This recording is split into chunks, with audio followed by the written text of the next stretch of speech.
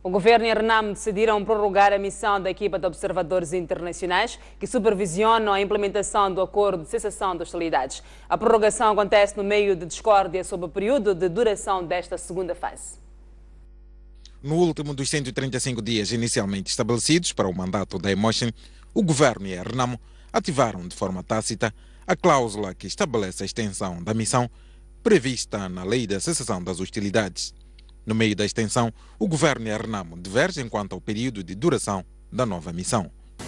Colocamos uma proposta de 135 dias e depois, com uma negociação com o governo, este tempo uh, passou para 120 dias. O governo voltou a reduzir essa proposta para 60 uh, dias e nós achamos que esse tempo é insuficiente para cabalmente cumprir com esta missão.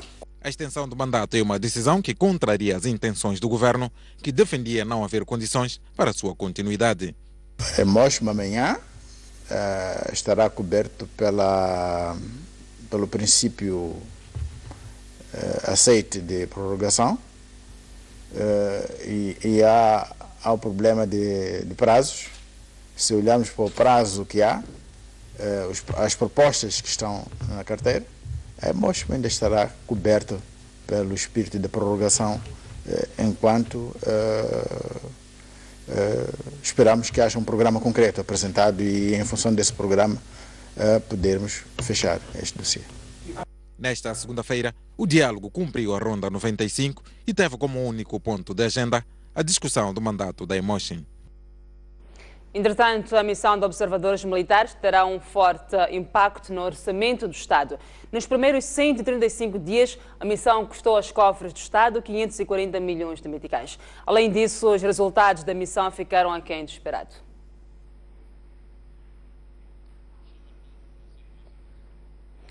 Eu dizia que a missão de observadores militares terá um forte impacto no orçamento do Estado. Nos primeiros 135 dias, a missão custou aos cofres do Estado 540 milhões de meticais. Além disso, os resultados da missão ficaram aquém do esperado. Vamos acompanhar? A partir da o Instituto Nacional de Transportes Terrestres, INATER, tinham 81 contas bancárias e foram reduzidas para apenas 6, ou seja, foram fechadas 75. As contas serviam para o pagamento. Ah, como observamos, houve aqui uma troca de ah, reportagens. Uh, vou saber do realizador se temos esta reportagem no ponto ou não, ou vamos para aquilo que é a nossa análise deste tema? Ok, tem, tem indicação de que ainda não temos esta reportagem. Uh, mas vamos aqui analisar, este é um tema que já uh, está na mesa há alguns dias aqui no Noite Informativa e vamos continuar porque ainda é um assunto de atualidade. Uh, depois da semana passada, Sr. Namoreto, o governo ter dito que não ia renovar o mandato da Emotion devido aos custos de manutenção destas, destas equipas, esta semana o governo prorrogou o prazo, tendo em conta que esta prorrogação, prorrogação consta da lei. Entretanto, o ponto de desacordo neste momento tem a ver com os prazos, sendo que a Frelimo opta por um prazo mais curto, de 60 dias, e a Renan por um prazo mais alargado, de 120 dias. O que, é que estará em causa, de fato, para este desacordo no que diz respeito aos prazos? Bom, primeiro dizer que já no último programa, quando era dado como certo que esta missão não iria é, ser prorrogada, eu dizia aqui no programa que era um pronunciamento um tanto quanto precipitado, precipitado por parte do próprio uh, representante do governo na mesa de diálogo, porque não cabia uh, ao governo determinar o fim desta missão. Foi uma missão criada em acordo das partes e também a, a sua uh, cessação ou o seu termo deveria ser acordado entre as partes. Portanto, estava mais do que claro que era um pronunciamento uh, muito precipitado. Agora, o acordo da prorrogação, uh, do princípio da prorrogação da missão, uh, está patente. As partes concordam que a missão deve ser prorrogada. Entretanto, não há ainda um entendimento sobre por quanto tempo. O governo prefere um período muito curto Sim. e a RENAM prefere um período um pouco mais alargado. A razão por que é que nós preferimos um eh, período um pouco mais alargado, porque a experiência nos mostrou que este não é um processo tão simples quanto se pretende dar a entender uh, aos moçambicanos. E nós defendemos que, se este é um processo que tem que ser feito de uma vez por todas e que cheguemos ao fim e dizemos está concluído, não se volta mais a falar nisto. Então temos que dar tempo para que este processo seja feito com todo o cuidado e toda a tranquilidade possíveis. Porque se nós quisermos correr, corremos o risco de estabelecer períodos curtos, fazermos as coisas às correrias e, passado algum tempo, temos que voltar de novo a discutir o mesmo, o mesmo assunto. Na nossa perspectiva, na nossa maneira de ver, é preferível que se dê tempo suficiente para que esta missão cumpra o seu mandato. E é preciso também lembrar que a responsabilidade não é dos observadores estrangeiros. Uhum. Este processo não estar a andar na velocidade que todos nós desejaríamos.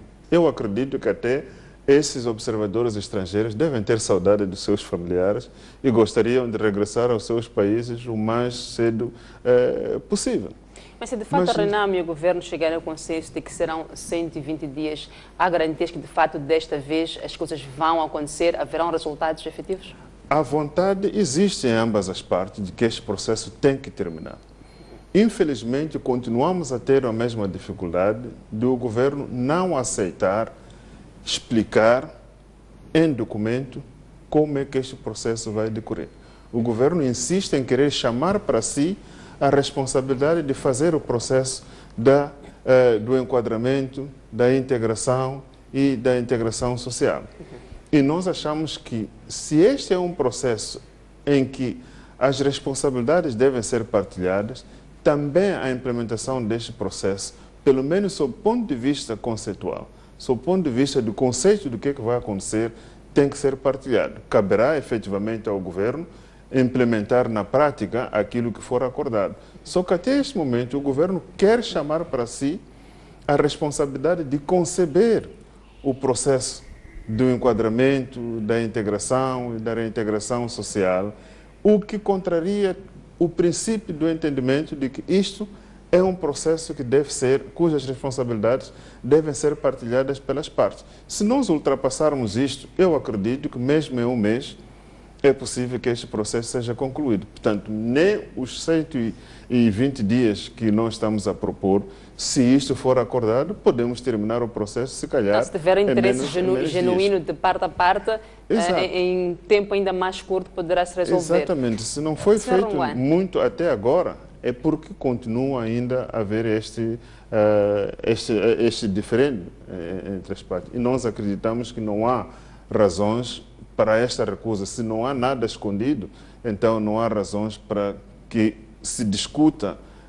abertamente o que é que vai acontecer e como é que o processo de enquadramento e da integração eh, da Força Residual da Arnamo nas Forças Armadas, ou melhor, na Polícia, e a sua reinserção social daqueles que não puderem entrar na vida militar. Sr. Rongan, o que é que lhe parece? Uh, não haverá aqui outros interesses de parte a parte, tanto da FLIM quanto da RNAM, uh, na definição de um prazo ou mais curto ou mais alargado?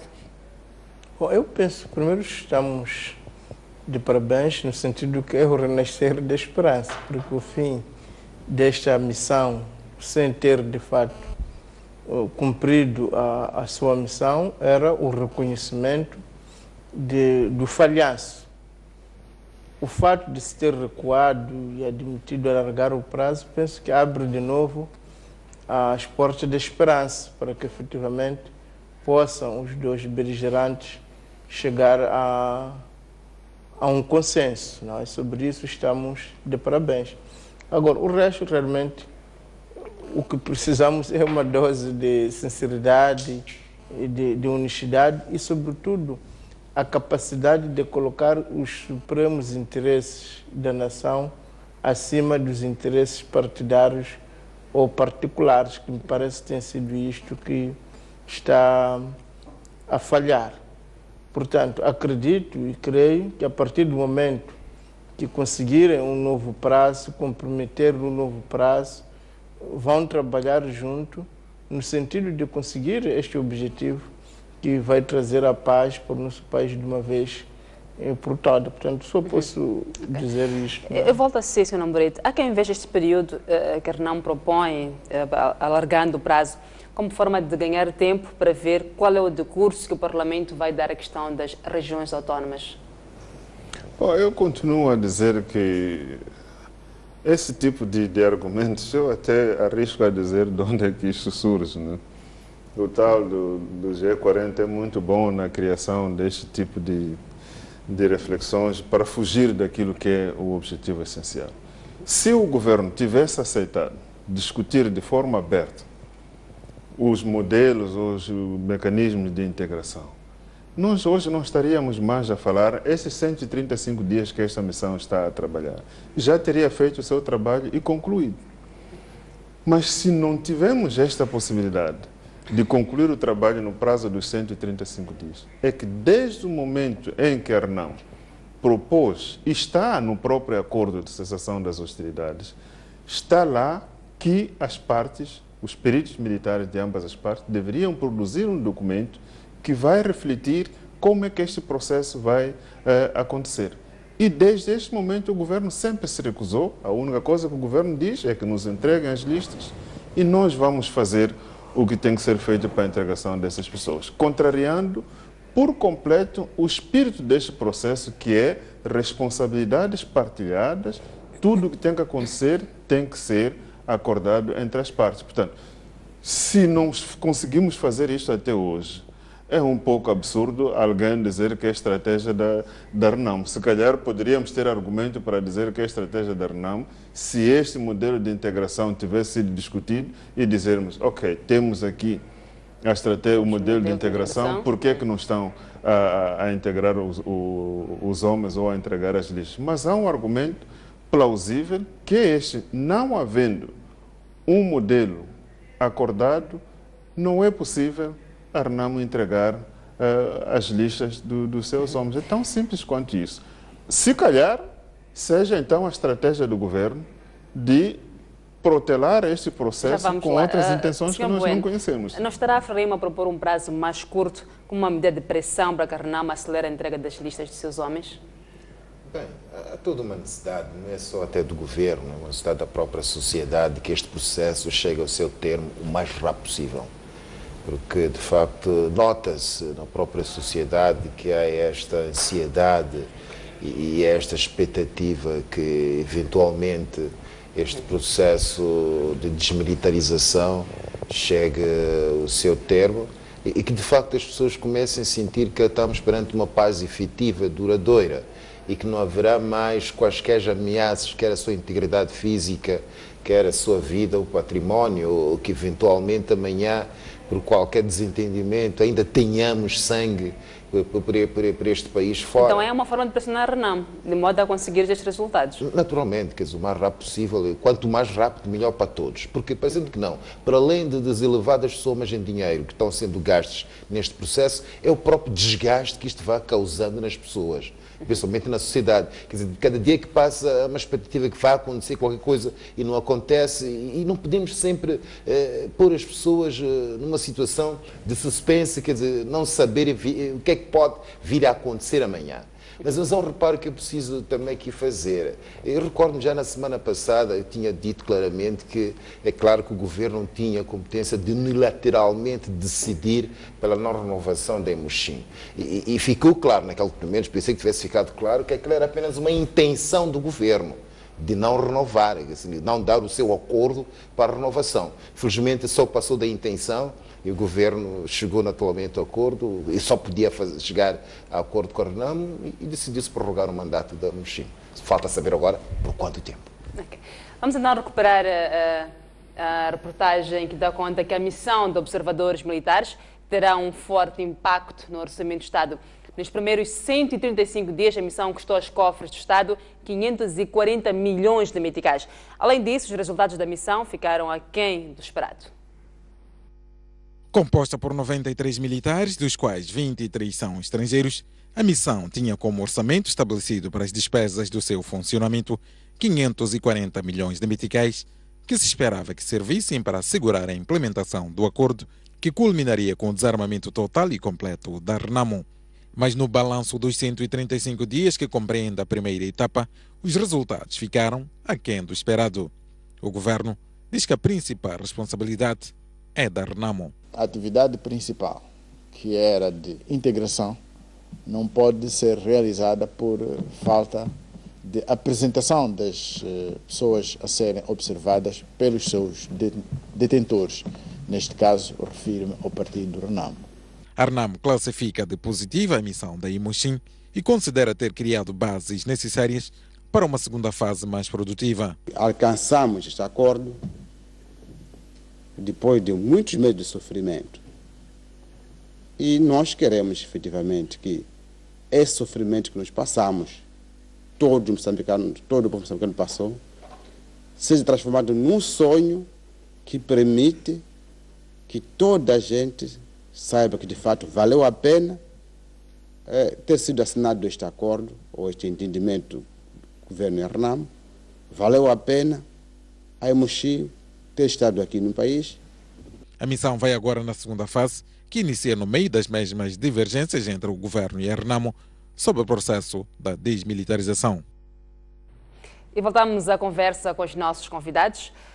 A Emotion teve um prazo de 135 dias, onde a sua missão central era a supervisão da desmilitarização das chamadas forças residuais da Renamo, mas nada aconteceu. É preciso lembrar que em dois acordos e duas missões uh, de observadores internacionais, falo do Acordo 92 em Roma e 2014 em Maputo, supervisionados pela UNUMOS e EMOSHIN agora, não se conseguiu uh, alcançar aquilo que é, o, que é o ponto comum, que é a desmilitarização. Se em cerca de 23 anos uh, não se fez nada, será que agora entre 60 ou 120 dias fará de fato a diferença? Ah, eu acho que sim. Ah, não podemos olhar para a história como algo estático. Os anos que seguiram ao Acordo Geral de Paz foram anos bastante positivos. Tanto é que, ao longo de 20 anos, nós não ouvimos nenhum tipo de confrontações militares no, no terreno. Para isso, valeu o bom entendimento, a colaboração, o espírito de consulta do governo na altura com a. Só que a alteração da administração, principalmente os últimos anos do, da administração do presidente Chissano para esta do presidente Guebuza, voltou a criar as mesmas situações que teriam eh, originado os conflitos já nos anos durante a guerra. Portanto, as forças armadas que estavam unificadas foram sendo eh, desmembradas e voltando à situação original de pertencer apenas a um único partido. Portanto, voltaram a ser Forças Populares de Libertação de Moçambique. E é isto que criou eh, o desconforto por parte da RNAM. E também o que foi acordado que aqueles que lutaram do lado da RNAM, aqueles que lutaram pela democracia, no âmbito do Acordo Geral de Paz, deveriam ser integrados na polícia. O governo nunca fez isso porque sempre alegou não ter recursos para tal. Ora, neste momento estamos a trabalhar no sentido de integrar estas pessoas na polícia, enquadrar as pessoas que foram afastadas nas Forças uh, Armadas de Defesa de Moçambique e integrar na vida social aqueles que por várias razões não poderão continuar na vida militar. Se houver honestidade e boa vontade por parte do governo, nós poderemos sim dizer que desta vez resolveremos todos os problemas. Porque o que acontece neste momento é que os problemas que deviam ter sido resolvidos no âmbito do Acordo Geral de Paz não foram resolvidos. Se não, uh, não houve exacerbação dos ânimos, se estes problemas não resolvidos não se fizeram sentir ao longo desses 20 anos, é que havia um uh, acordo tácito entre o governo e a Renam, em que as lideranças do governo e da Renam encontravam uma forma de se comunicar. Havia aqui o princípio de consulta permanente, havia o princípio de diálogo, que este princípio, a dada altura, foi rompido. E, certamente, rompendo-se o princípio que manteve a paz, o resultado seria voltarmos a ter situações de uh, desconforto nacional e é aquilo que nós vimos com Muxunco e, e vários outros confrontos uh, um pouco por todo lado. Se estamos a voltar a este bom senso de que precisamos resolver os assuntos pendentes, precisamos resolver todos os problemas que não foram resolvidos no âmbito do Acordo Geral de Paz, de forma honesta, de forma aberta, sem algo escondido por trás, nós temos possibilidade de colocar Moçambique nos trilhos da paz para sempre. Mas o que, isso o que se percebe requer aqui, Sr. Nambureto, o que se percebe é que deve haver, deve haver cedências uh, das partes. A RENAM também tem cedido? Sim, se for ver as primeiras reivindicações da RENAM e as reivindicações que são feitas hoje, a RENAM cedeu em muitos dos aspectos. Recorda-se que no começo do diálogo nós exigíamos que deveria haver uh, a partilha de 50% em tudo, que era, inclusive exigíamos o comando das Forças, das forças Armadas. E essa cedência foi retirada na perspectiva de que o governo também vai, neste momento, o que está a nos colocar eh, em desacordo é que, enquanto nós estamos a dizer o processo para a integração desses homens tem que ser discutido na mesa e acordado. Depois disso, o governo pode fazer a parte prática. E o governo diz que não. Entreguem-nos as listas e nós vamos resolver o resto das coisas. Esta aqui é a questão. Obviamente levanta dúvidas se o governo não quer discutir eh, de forma aberta em cima da mesa o que é que vai acontecer com esses homens. Alguma coisa está sendo escondida. Se o governo, de facto, abrir o jogo, como se diz em gíria popular, e dizer, ok, o que nós vamos fazer, a nossa proposta é esta, nós também apresentarmos a nossa proposta. E chegarmos a um acordo sobre como é que as pessoas vão ser enquadradas, como é que as pessoas vão ser integradas, o problema se resolve, entrega-se as listas, sabendo de antemão o que é que vai acontecer com esses homens. E todo o processo vai ao, é, a, a Emochim, vai acompanhar o processo, que poderá durar menos que 120 dias e colocamos o país em paz e todos nós saímos felizes. Né? Senhor Bueno, um dos aspectos que as partes sempre fazem referência é que uh, os seus posicionamentos visam defender o interesse do povo. O que é que a sociedade pode fazer no sentido de influenciar um rápido desfecho deste impasse? Bem, e a sociedade tem sabido, a seu modo, pressionar as duas partes no diálogo, porque é sintomático e recorrente qualquer intervenção popular as pessoas sempre falam de, de paz. Falam de paz, mas principalmente apelam a que o diálogo eh, continue e, e, que rapidamente se encontre uma solução no sentido de garantir a paz tão almejada e desejada pela, pelo povo. E, e, e, esta forma do povo se comportar, eh, sempre que está no contacto com, com os líderes políticos deste país, sempre fazer menção a esta necessidade da paz, eh, é de facto uma forma que o povo encontrou e, e que está a saber servir, no sentido de saber pressionar sempre que for necessário, no sentido é que qualquer nenhuma, nenhuma das partes eventualmente possa uh, fugir daquilo que é a sua responsabilidade neste momento no país. E a responsabilidade que é suprema e, e que para, no interesse até nacional é a paz. Eu acho que esta forma continuada do povo pressionar as duas partes de alcançar um consenso rápido deve continuar. Sr. Rongan, mesmo de forma muito rápida, para encerrarmos este tema, qual é agora o desafio dos observadores, tendo em conta o que se assistiu nos, nos, nos últimos 135 dias uh, da primeira missão?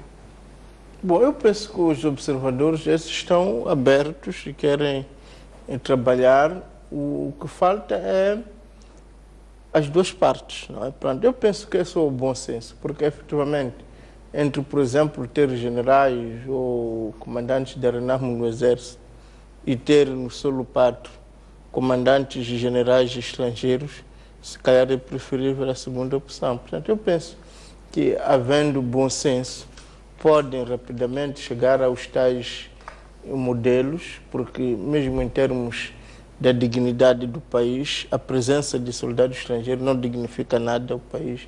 Mesmo em termos de gastos econômicos, os valores que estão a ser ditos pela presença desses generais estrangeiros são efetivamente astronômicos.